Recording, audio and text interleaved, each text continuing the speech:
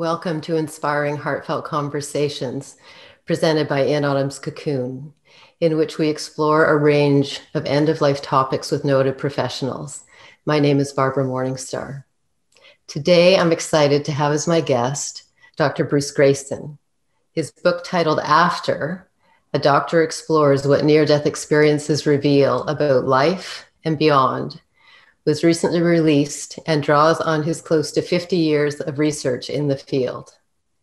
Welcome, Bruce. Thank you, Barbara. I've been looking forward to talking to you for a long time. Yes, and I've been looking forward to this as well. So, we're going to go right into it and begin at the beginning. Um, what initially made you curious about these near death experiences? Oh, gosh. Well, I was raised in a materialistic scientific household where we never thought about anything spiritual or religious. As far as we knew, the, the physical world was all there is. And when you die, that's the end. And that seemed fine with me. That's just the way life was. So I went through college and medical school with that mindset. And then in the first few weeks of my psychiatric training, I was asked to see a patient in the emergency room who had overdosed. So I went down to see her, and she was unconscious. Uh, she could not be aroused. So I, I, talked to her roommate who had brought her in, uh, in a, a room about uh, 50 yards down the hall, and then went back to see the patient again, and she was still out cold. So she was admitted to the intensive care unit overnight. And I went to see her there the next morning when she awoke. Uh, she was still very, very drowsy, could barely open her eyes. And I started to introduce myself, and she stopped me and said, I know who you are. I remember you from last night. And that kind of startled me. So I, I said, uh, um, gee, I'm surprised. I thought you were out cold when I saw you last night. And then she looked me in the eye for the first time and said, Not in my room. I saw you talking to my roommate down the hall. Mm. That just blew me away. I couldn't couldn't imagine what she was talking about. Uh, she was talking as if she had left her body and followed me down the hall. And as far as I could tell, I was my body. How can you leave? It made no sense at all. So she saw that I was uh, kind of stumbling with this and then went on to tell me about the conversation I had with her roommate, what we were wearing, where we were sitting, all my questions and her answers. And it just it made no sense at all to me. Mm-hmm. But I had to, you know, I was there to do a job with her. So I, I kind of pushed my feelings aside and, and tried to focus on, on her issues, her suicidal thoughts, and so forth. And then in the, in the days that followed, as I tried to reflect on this, I, I just didn't make any sense to me. So I, I tried to tell myself it was a trick of some kind. Maybe the nurses were trying to fool me. I was a young green intern, and it just didn't make any sense. And then about four years, four or five years later, Raymond Moody wrote a book called Life After Life, in which he gave us the term near death experience and described what they were like. And it occurred to me for the first time that this thing that, that this patient had talked to me about was not just a one time thing, but it was part of a huge phenomenon that people all over the world were having. It still made no sense to me. I couldn't understand it. But that made me go towards it. You know, as a scientist, my job was to understand things. Mm-hmm. And you make the greatest advances in science by trying to study things you don't understand at all. And this was certainly one of them. So I, I started collecting cases and uh, trying to understand it. And here I am 50 years later, still trying to understand it. Mm. Um, it's beautiful to see how it sort of led you into a life's body of work. Yeah. And the University of Virginia, we touched on it just before we started recording, such a unique department with the kind of reflection of an exploration with children and their sensitivities and people at end of life too. Yeah slightly more than 50 years ago. Mm. Um, Chester Carlson, who invented the Xerox process, gave the university a huge bequest to start this division to hmm. study uh, the possibility that something may survive bodily death. Mm. And Ian Stevenson became the first director of that group.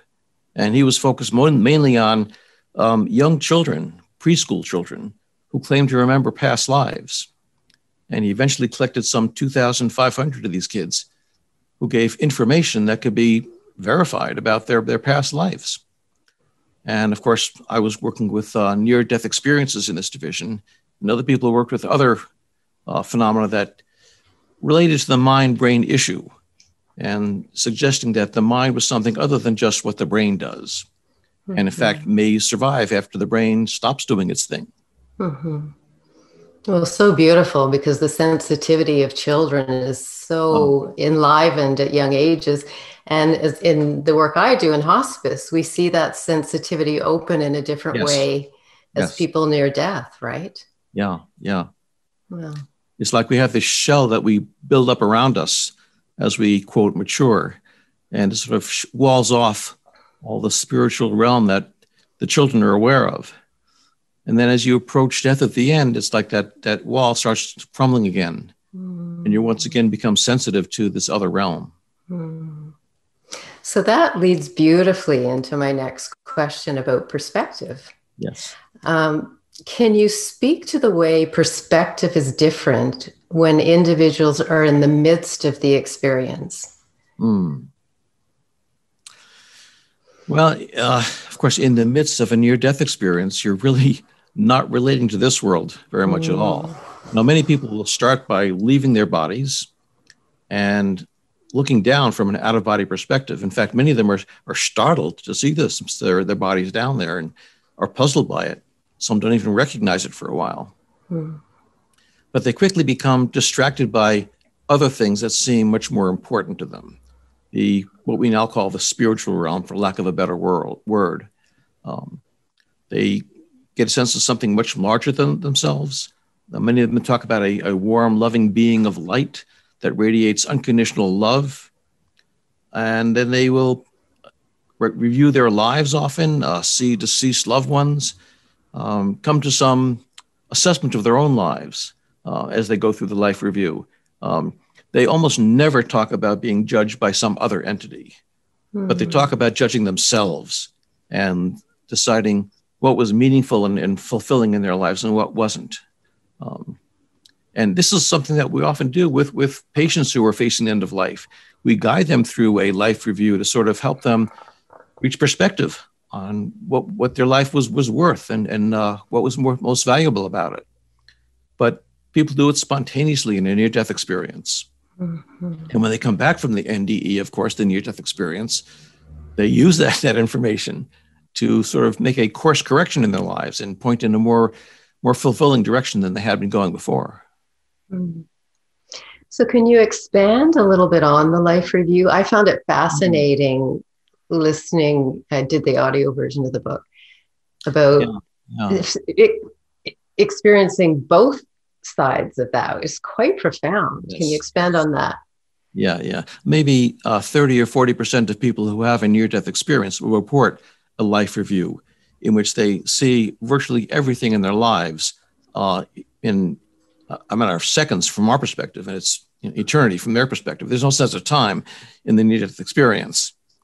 Um, but many of them report seeing and reliving the experience not only through their own eyes, but through the eyes of other people involved in the scenes. Uh, for example, uh, one fellow, Tom Sawyer, was a, uh, um, a laborer who had a near death experience in his 30s when a truck he was working underneath fell and crushed his chest. And in that near death experience, he reviewed his entire life. And he re- reviewed it not only from his own perspective, but through the eyes of other people as well. An example was he remembered an incident when he was a teenager and driving his new truck down the road, and a drunk man happened to wander out in front of him and almost hit his truck.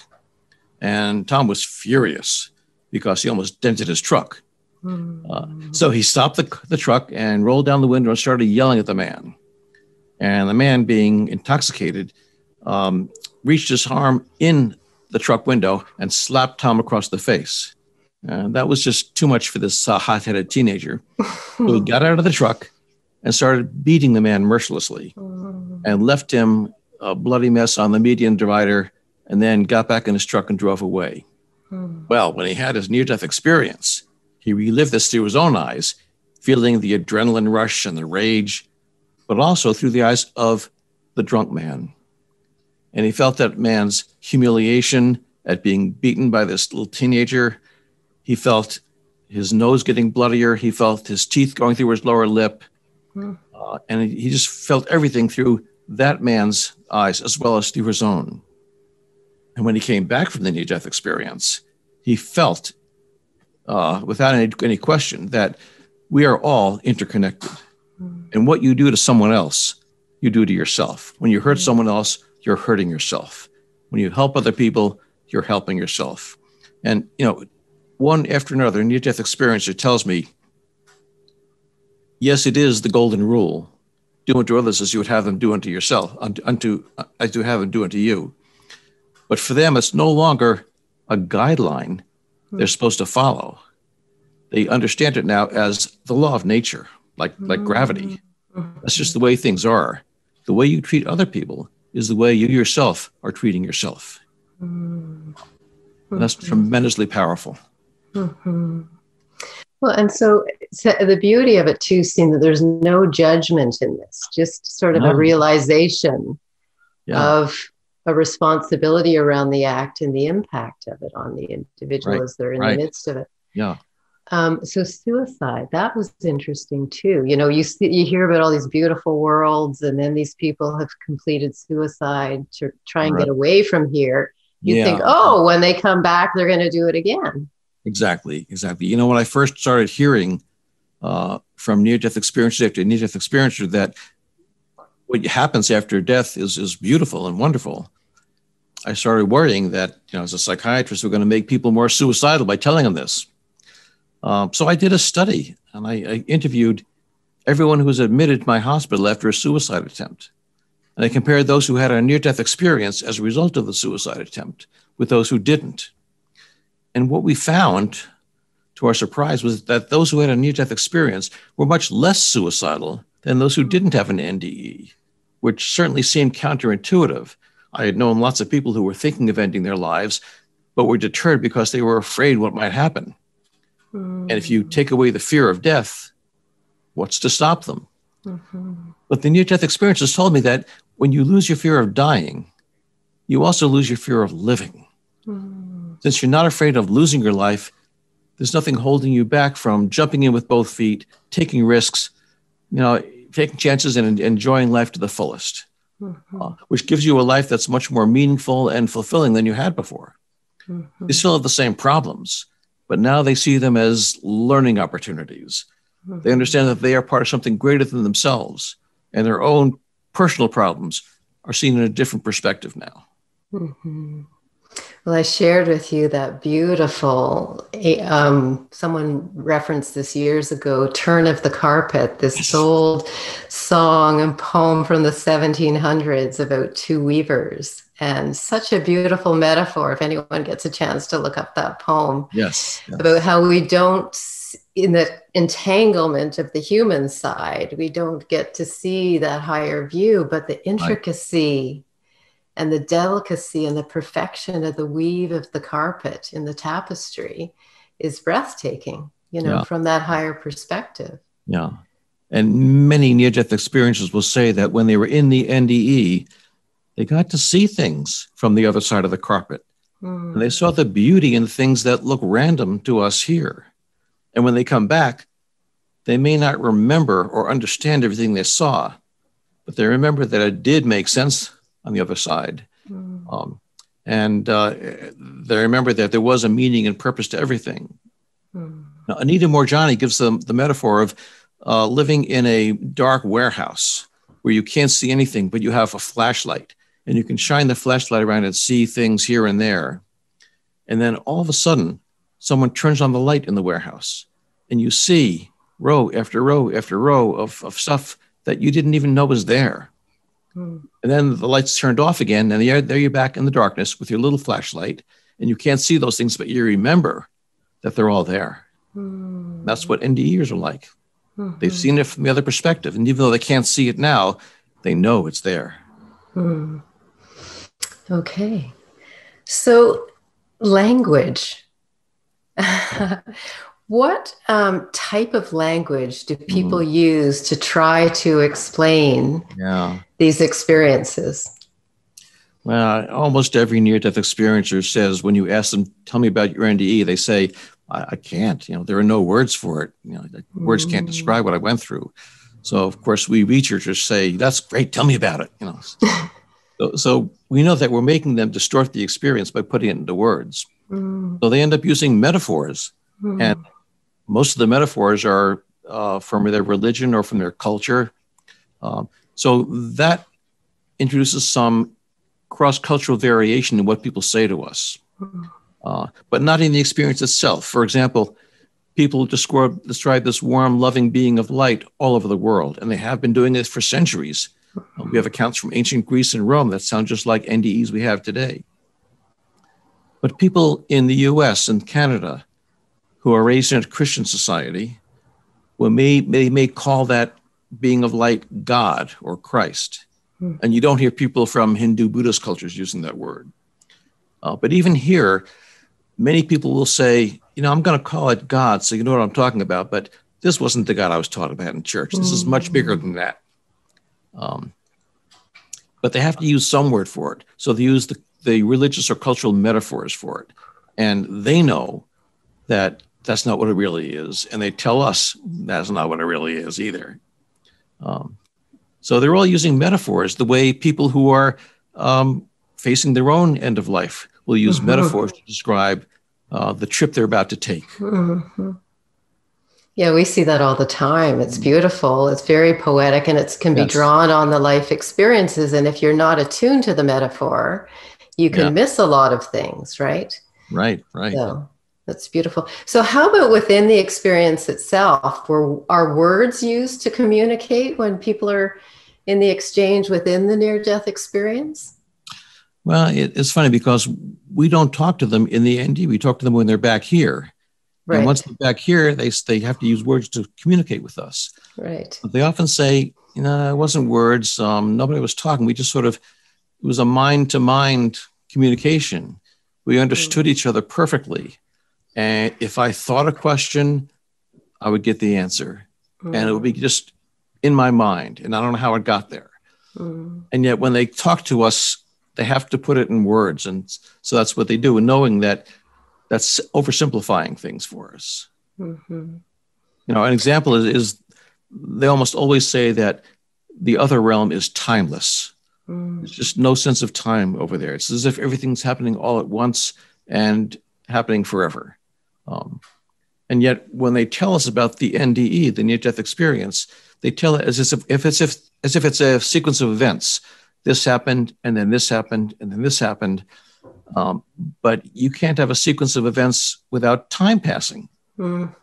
And when I ask them about that, they say, well, it's a paradox when I describe it to you now.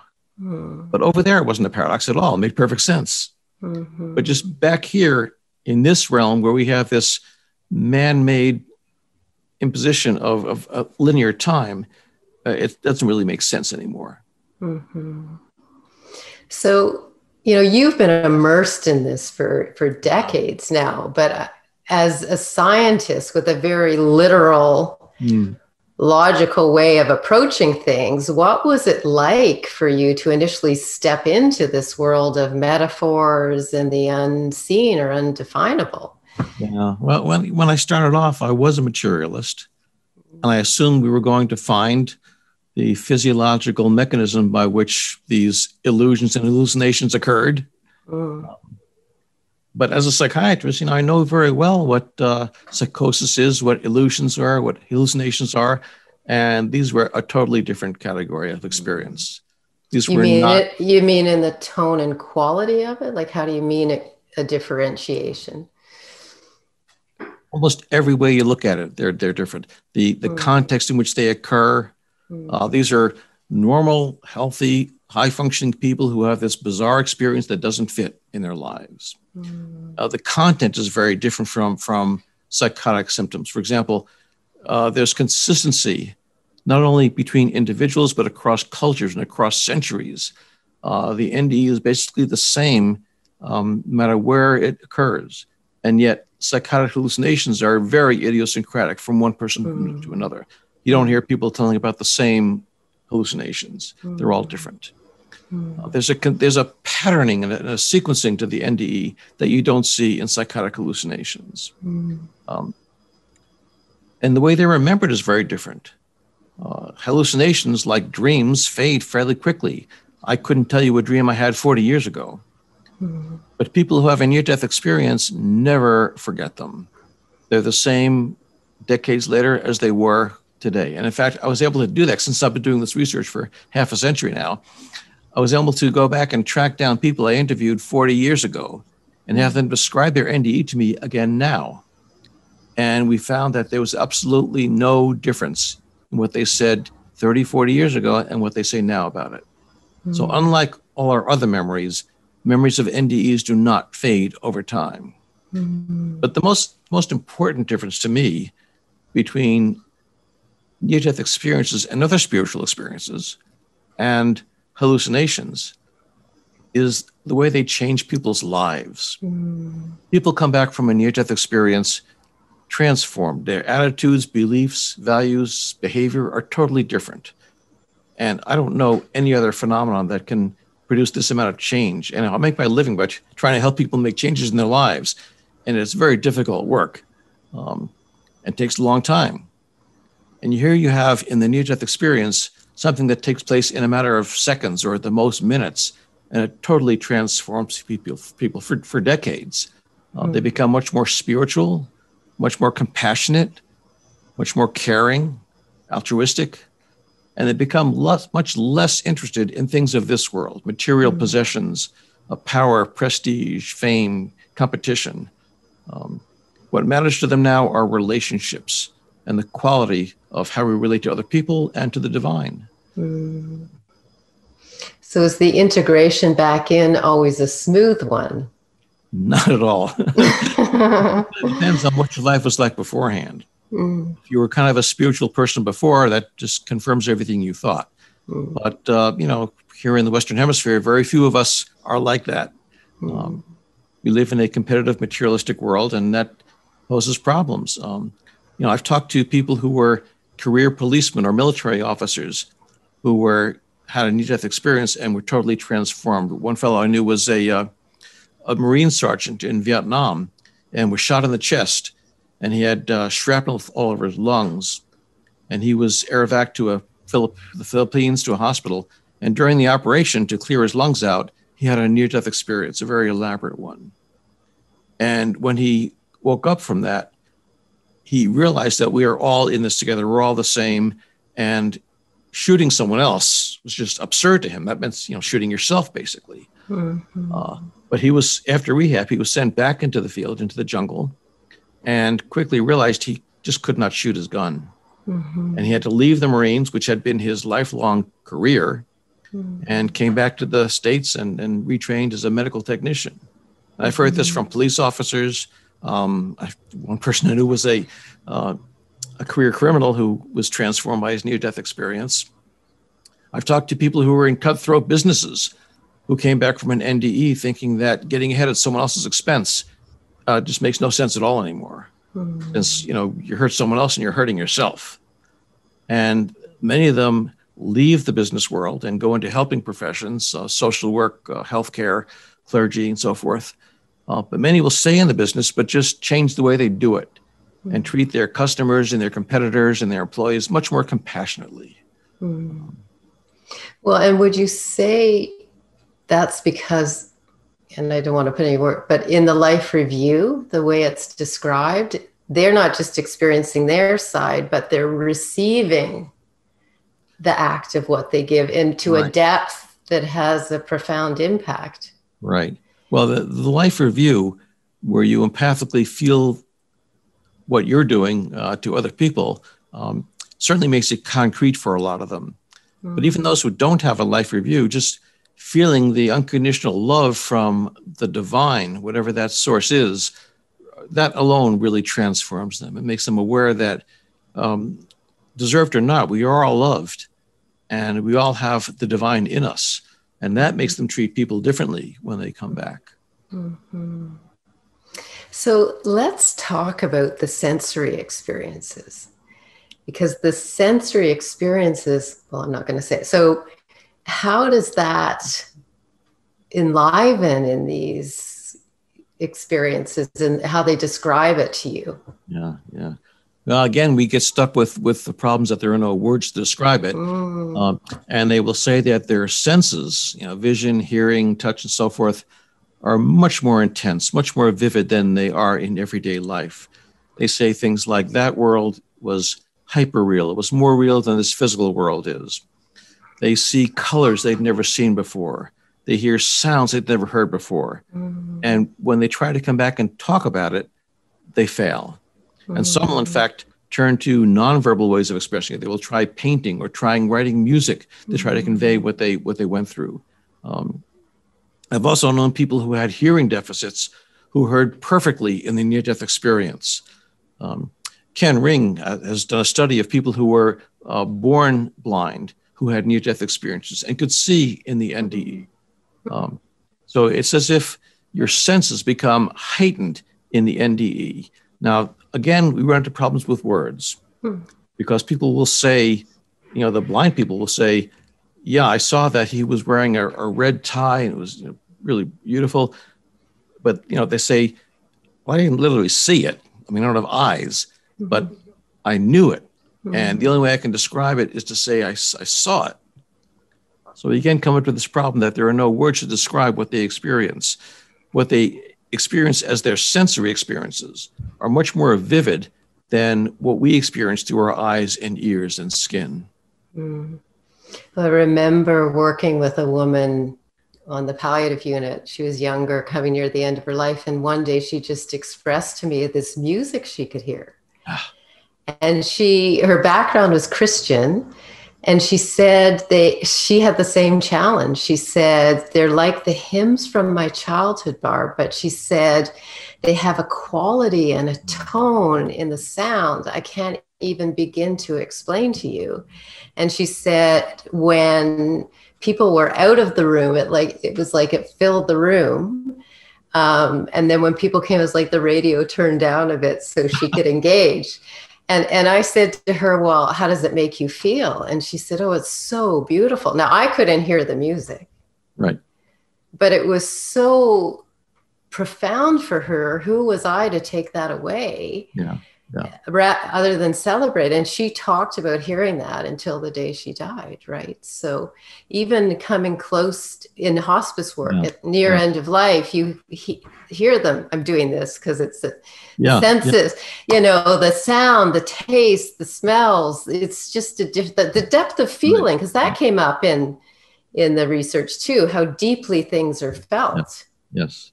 yes. And of course, as you're suggesting here, people who don't have near death experiences, but actually go on to die, have so called deathbed visions, which are mm-hmm. very, very mm-hmm. similar to near death experiences. Mm-hmm. And they will talk about being greeted by deceased loved ones uh, that we don't see, but they're obviously responding to something. Mm-hmm. Well, I recently did a, an interview with Dr. Christopher Kerr, who's mm. at Buffalo Hospice in New York, and they're doing extensive research on yes. deathbed visions and dreams. And even for, for me, I mean, at medical rounds, if the patient started seeing a loved one clearly who was coming to greet them who died, we go, oh, are, are they getting ready? Like, you know, we talk about it in medical rounds because it would happen so often you know and and you go into a section on that as well about initially yeah. going okay well hmm what about is that kind of a hallucination or what's right, the right, right. truth that i think these are these are you know to meeting deceased loved ones is very easy for uh, debunkers to to wish away as saying well it's expectation you think you're dying so of course you want to be greeted by loved ones so you imagine that they're there to greet you and that that that may be an explanation for some of the cases. You know, who to who's to say? But there are a number of cases in which the person who is going through this experience encounters deceased loved ones that were not known at the time to be dead. Mm-hmm. And I wrote a I wrote a paper about this about 12 years ago with dozens of cases like this from the literature. And there was even one case from ancient Rome. Uh, Pliny the Elder wrote a case about this in the first century a very detailed one. But uh, one of the ones that I was involved in was a 25 year old fellow who was admitted to the hospital with um, pneumonia. And he was having repeated respiratory arrests where he couldn't get his breath. And he had one nurse who was his primary nurse, about his age. She was 25. Um, and they got pretty friendly. And at one point, she said to him, I'm going to be taking the long weekend off, so I won't see you for a while, and you'll have other nurses substituting for me. So she took off for the weekend. He said goodbye to her, and that was fine. And over the weekend, he had another respiratory arrest where he had to be resuscitated. And in that arrest, he had a near death experience. Mm-hmm. And he found himself in a beautiful pastoral scene. And there, to his surprise, was that nurse, Anita, walking towards him. Mm-hmm. Uh, so he did a double take and said, You know, Anita, what are you doing here? And she told him, You can't stay here. You need to go back to your body. And I want you to find my parents and tell them, I'm so sorry that I wrecked the red MGB. Mm. And then she turned and walked away. Mm. When he woke up back in his hospital bed, he had a very clear, clear memory of this whole experience. And he started to tell the first nurse who walked into his room about it. And she got very flustered and just walked out of the room immediately. Mm. It turned out that this his favorite nurse had taken the weekend off to celebrate her 21st birthday and her parents mm-hmm. surprised her with a red MGB for her birthday. She got very excited, jumped in the car, took off for a spin, lost control of the car, and smashed into a telephone pole, and died instantly, shortly before he had his near death experience. Mm-hmm. Now, there's no way he could have known that she had died or expected to see her or wanted to see her, and certainly no way he could have known how she died, mm-hmm. and yet he did. Mm-hmm. And we have case after case after case of this that are clearly not wishful thinking and expectation, mm-hmm. but seem to be encountering the spirits of the deceased loved ones. Mm-hmm. Well, and bridging too to end of life work. Yes. You know, we hear about, and my father even recently passed, and the the tr- the reality, the sense of realness of my mother who died being around him mm-hmm. was just palatable, like yeah. just really strong. But I remember once being in medical rounds and again, we're talking about someone nearing death, and the fa- and there'd been a sudden death within the family of this man, and nobody wanted to tell him yeah. That the person had died because he was facing his own death. Right. And then the family went in one day, and he went, "Oh, I can't remember the name of it, but Joe showed up last night and came to be, and they all looked at him and oh, they hadn't told him the person had no. died, no. and he knew nothing. And then he, t- the patient talked about the exchange and they all just you know it was, it was moving and touching yeah. and profound and out of the scheme of yeah. what they thought the truth yeah. of his knowing was right so it, it's really hard for any of us who hear about these stories not to be profoundly affected by them mm-hmm. okay so purpose I want to go into that a little bit more because that seems to come up a lot. Mm. The person's in the middle of this experience and then they're sent back for a reason. Do they know what the purpose is, or they the how does that play out yeah. within the experience and coming back?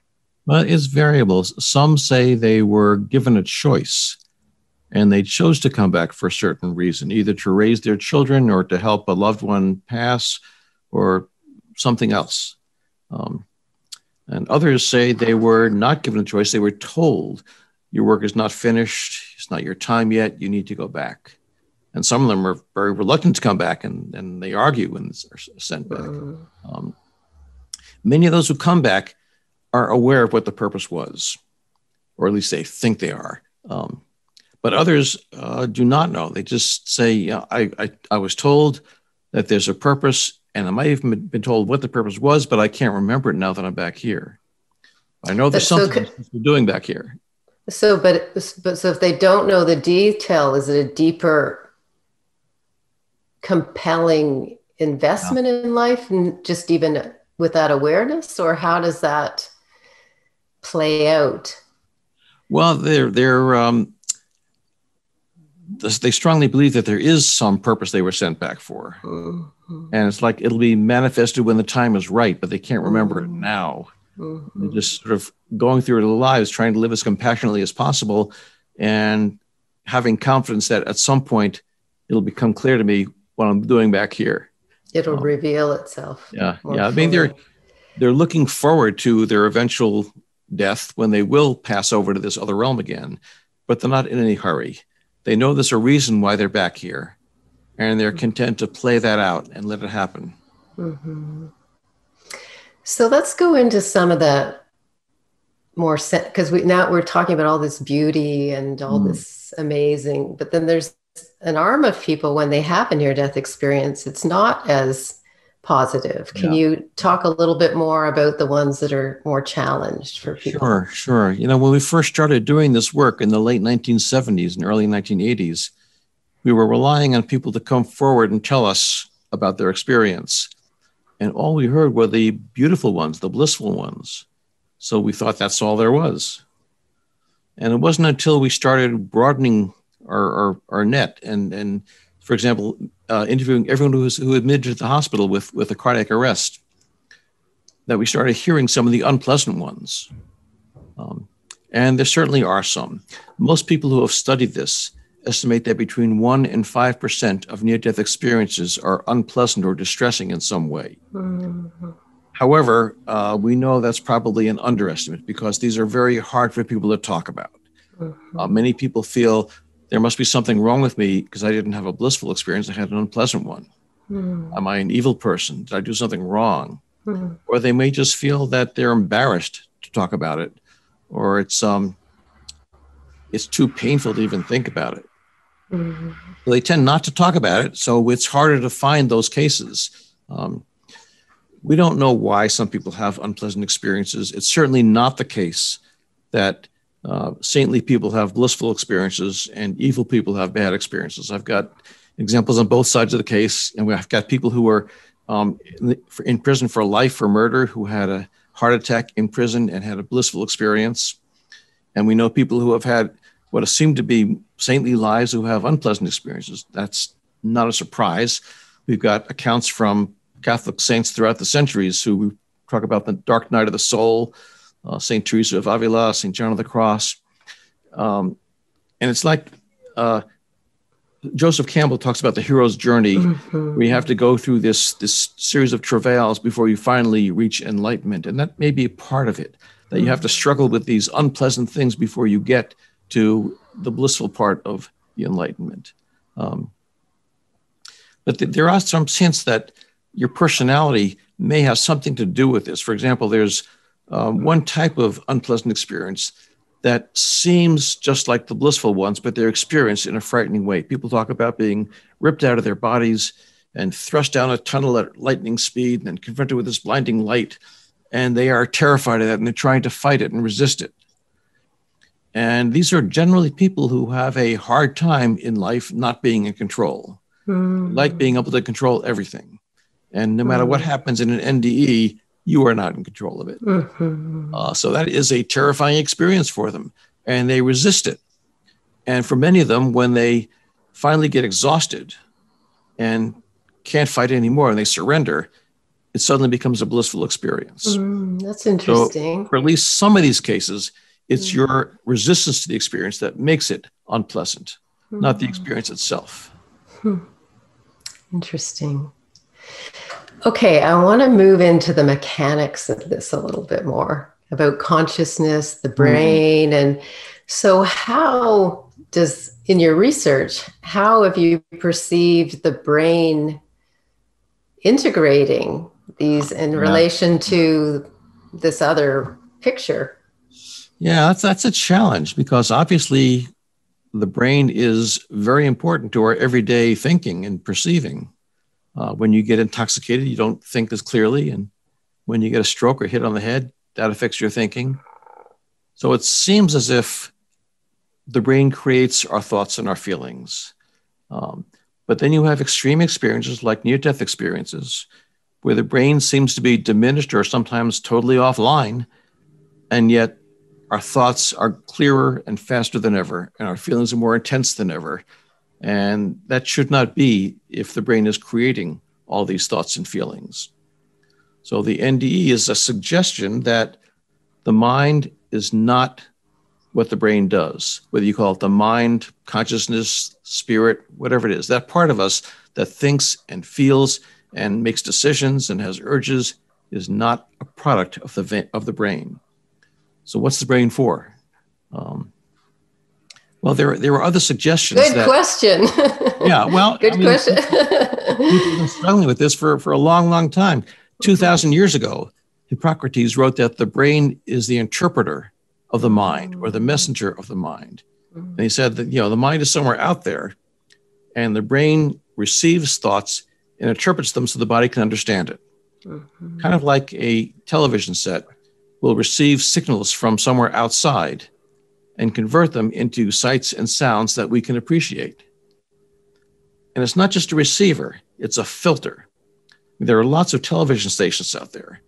And if you had signals from all of them at the same time, you couldn't sort them out and make sense out of them all. But the TV set will select one channel and then filter out all the others and just let the one in so you can then appreciate it. And the thought is that the brain is somehow a filter for the mind. And it lets in only those limited thoughts and feelings that are relevant to us. So, what's relevant? The brain, like the rest of our body, evolved to help us negotiate the physical world. Your eyes receive light from the outside and only transmit to us a very small portion of the electromagnetic spectrum that's relevant to our survival. Similarly, our ears don't hear sounds that other animals do. Uh, they just have a small range of frequency that they, they, they respond to. Mm. So it makes sense that the brain would also do this. It would filter out those thoughts and feelings that aren't relevant to survival in the physical realm, that don't help us find food and shelter and a mate and so forth. And you don't need to talk to spirits to do those things. You don't need to see deceased loved ones. You don't need to see a, de- a deity. You just need to know where's the food, where's the shelter, and so forth. so your brain evolved to filter out those irrelevant thoughts and just let in the ones that are physically important to us. Mm. There's evidence for this not only from NDEs, but from other phenomena as well. For example, there's something called temporal lucidity or mm. terminal lucidity. Uh, people who are nearing death, who have been demented for years and years and can no longer communicate or recognize loved ones, may suddenly become completely lucid mm. in the hours or sometimes days before they die. Mm. And there's no medical explanation for how this can happen people with Alzheimer's disease cannot regenerate brain cells afterwards. Um, it just, we don't know how it happens, but somehow uh, when the brain decompensates, uh, degenerates enough, the mind can then flourish again. Mm. Likewise, we have imaging, neuroimaging of psychedelic drug trips that was done in the last uh, decade or so. We used to think that psychedelic drugs uh, produce hallucinations by stimulating the brain to hallucinate. And what we find is that the more elaborate mystical experiences with psychedelic drugs are accompanied by a decrease in brain activity. The electrical mm-hmm. activity goes down and the coordination across different parts of the brain goes down. Mm-hmm. So, again, it's like when the brain is knocked out, or at least the filtering part of the brain is knocked out, the mind can experience all sorts of things that it couldn't otherwise. Mm-hmm. So, we suspect that one metaphor for how the brain works with the mind is that it's a filter of some kind. Mm-hmm. Um, that it somehow filters out those quote irrelevant things like God, mm-hmm. uh, and just lets in the things that are important to us as a physical animal. Mm-hmm. Now, again, this is a metaphor. Uh, it's not a literal description of what the brain's doing. It's a metaphor for it, an, an analogy. And there are people who are working on uh, what parts of the brain, what neuroanatomical and neurochemical processes in the brain might be doing this filtering function. Hmm. I had an just thinking about Alzheimer's. I had an opposite experience with my mother, who had it for 12 years. She, and I'm on the west coast of Canada, and my father and and she came years ago for visit, and she was just in the beginning stages of dementia.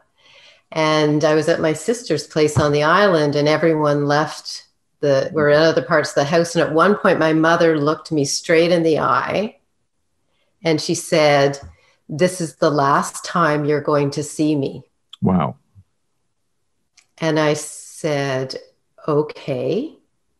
And then she looked me straight in the eye and said, Will you visit me? And I said, Yes. And she said, Good, I would like that. And I said, Later, will you come to me in a dream and let me know you're mm. okay? And she said, Yes. Oh. And when, and so I just held it like I could feel some kind of truth was coming through. And then they went back east, and I didn't see her until about a year later, and I could not have the same conversation with her. Mm. Her yeah. dementia had progressed, and I wasn't a so there was a, a profound moment yeah. there of a knowing, and she was preparing for me that we would mm. not be able to engage in the same way. It was she she quite knew. interesting. Yeah. Mm. Okay, so the Dalai Lama. you got to meet the Dalai Lama. Can you tell me about that experience and why that invitation occurred? Now, this uh, current Dalai Lama is is quite a unique person. He's always been fascinated by Western science from the time he was a child, mm-hmm. and in the last oh, probably 15 years, um, he's led a program that he calls Science for Monks. Um, you know, their, their educational program for for becoming a monk is like getting a PhD uh, here in the West. It, it, takes about 15 years of education to, to reach that, but there is no uh, part of what we call Western science in their training. And he realized that this is a great lack in their education. So he started bringing over Western scientists uh, 15 years ago or so every year to have a, uh, a seminar for them to talk about Western science astronomy, uh, physics, geology, everything. And a few years ago, I got to be a part of that. Um, mm-hmm. And we were talking about the mind and the brain and consciousness. Um, and it was a kind of a dialogue between Western scientists, such as myself, and the Buddhist monks. It was an interesting experience for me because when I talk to Western uh, audiences, I often have to start talking about what is a near death experience because many mm-hmm. people don't understand. And with these monks, they knew all about it. Hmm. Now that when the time came time for the question and answer period, their questions were all, let me tell you about my aunt's experience or my sister's experience or something like this. Hmm. They were very hmm. familiar with all of it. Mm-hmm. But what struck me most was my interaction with the Dalai Lama himself. Mm. He was talking about how both Buddhism and Western science are empirical uh, disciplines that we all look for the data, the physical evidence. And he said that comes primary in both Western science and in Buddhism. Hmm. In Western science, if you have data that aren't consistent with your theories, like near death experiences, you have to revise the theory because the data aren't challenged. And he hmm. said the same thing in Buddhism. If we find some facts that contradict our beliefs, we have to change the beliefs. Hmm. But he said the difference between Western science and Buddhism is why you're doing this. Western science tries to understand the world in order to control it or manipulate it. Hmm. Whereas Buddhists try to understand the world in order to live more harmoniously with it. Mm, it's beautiful. It, it, certainly changed my thinking about why I do research. Mm, and you know, I don't no longer go into when I start a research project, I don't think about what can I learn about the mechanisms here, but how is this going to help humanity? If I do this research, how is it going to help people? And if I can't answer that, it's not a study worth doing. Mm-hmm. So we're coming close to the end. So on and bridging into that, the, the title of after, you explain sort of mm-hmm. the different perspectives of after can you elaborate on on the extension of that title? Right, right. Well, most people think it refers, of course, to what happens after death, and it does to some extent. Uh, we certainly learn a lot about what may happen after death from near death experiences. But most near death experiencers say that what's most important to them is what they learned about this life, not the other life. Mm-hmm. So after refers to what happens after a near death experience when you come back and have to live in this world. Mm-hmm. But I also wanted to refer to what happens to the readers, to us, mm-hmm. after we read the book. Um, mm-hmm. There's lots of evidence now that just learning about near death experiences can produce some of the same changes of an NDE. It can make people more compassionate, more caring, more altruistic. There have been a number of studies done with college students who take a class in near death experiences and they become much more altruistic in their behavior after the class is over. And this has been demonstrated in follow up studies a year or two after the class is over. Mm-hmm. They're, uh, they're per- per- persistent changes. People become much more compassionate after learning about NDEs. So, my hope was that in writing this book and letting people learn about near death experiences, some of it may rub off on them as well. Mm-hmm. Well, I know for me, reading or listening to the book reading. Of course we we had an engagement prior just because of my work and and research but there were two arms to it. There was the the beautiful parallel of of so many of the themes in the near death experience we see at the bedside like yes. um, the sense of reality meeting of the deceased the language changing but the pervasive element of love and the sensory experience is shifting to a deeper place, right? Mm-hmm. And then on a personal level, oh, I felt like I had a whole life review because it, I, I, lost a friend to a, a very cha- sad choice of suicide at a young age. And then later, not at a near death experience or end of life, had a breakthrough dream that was as lucid as a near death experience with light and sound and her presence. And and when i came out of that because i was struggling with the grief there was just this whole different sense of a direction. And i made a firm decision and intent to follow my heart. Mm-hmm. and so all the way through listening to the book i was having tears thinking oh my you know robert frost poem. Yes two roads diverge in the woods. Yes, yes. And I took the road less traveled by. Yeah. And that has made all the difference because it led me to do this beautiful work in end of life care, right? So thank you for that. Oh. Yeah, you know, we so as I was we, we talk about the near death experience as if it's a fairly discrete and unique experience, but it's it's only one of many ways of getting to, getting there to this this other realization. And there are lots of ways of reaching a spiritual enlightenment other than going through a near death state. That just happens to be one of the most reliable ways in our culture. Mm-hmm. Um, but there are lots, lots of other ways of, of getting this. Mm-hmm. So now I'm getting all choked up here. But anyway, so last thing I want to ask you, because you, as you said at the beginning, you were this from this materialistic family, a scientist, and I always like to ask the guest how their heart has been changed. Loved seems to be the main theme it is, in yeah. most of these experiences. So, how has your heart been changed yeah, yeah. Well, by yeah. doing this work? I, am still a scientist and I love looking at the material part of the world and, and trying to figure things out. But it's, it's, it's very clear to me now after doing this work that that's not the important part of life, not the important part of why we're here and what we're doing.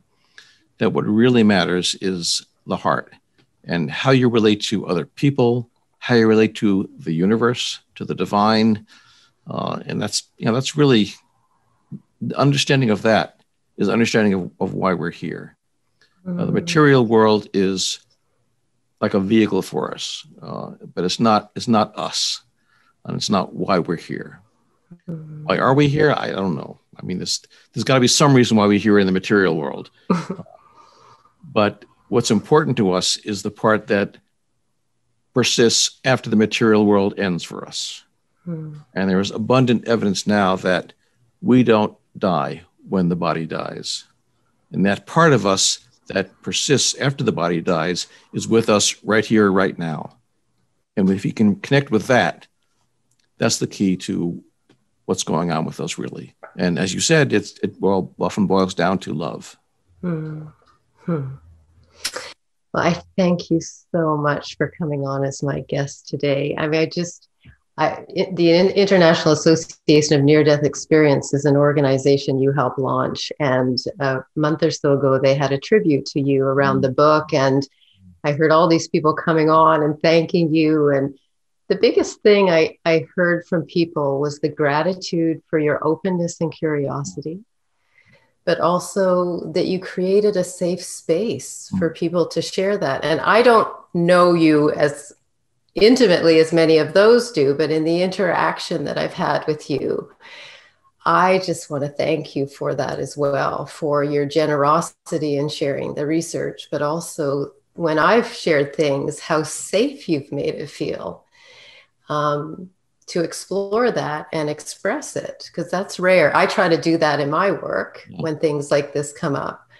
And it's rare, but it's beautiful when you feel yeah. that sense of trust, right? So, so thank you for that. Thank you. And thank you, Barbara, for letting me have this opportunity to talk with you. This has mm. been uh, really, really fun. Hmm. So, for everyone listening again, he's got it behind him on the shelf there, the book After. It's a lovely book, and it's got a perfect balance of the research and the grounding elements of the scientific research and the flow and expression of the heart and the stories. So, Thank you so much again, Bruce, for coming on today. I really appreciate this Thank conversation. Been, been my pleasure. Thank you. Okay. You take care.